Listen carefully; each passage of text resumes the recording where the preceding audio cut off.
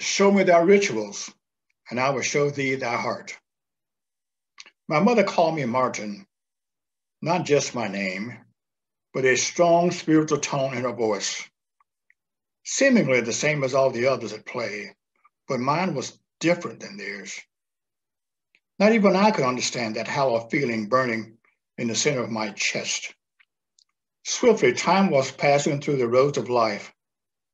Mine was unlike the others, too, as it seems like living in a strange world peering out into the outer world. This is not my dream. And far beyond my reach, but the end was not in my sight. There's much more to do, more to do. This is not my dream. Tears rolling down my cheeks. People of all cultures embracing each other, giving love for a great loss, marching as one culture. I saw in my dream that BLM as the epitome of my dreams. Then came the culture of the avowed deed doers. As with me, the invisible battle rages on, hearts filled with hatred, despair, and fear of that which will come, violent.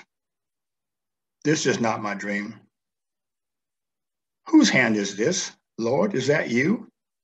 Martin, your job is done. Time to come home. It has been a long but short journey with so much more to do. Wiping the past of wrongness and care and thoughtfulness.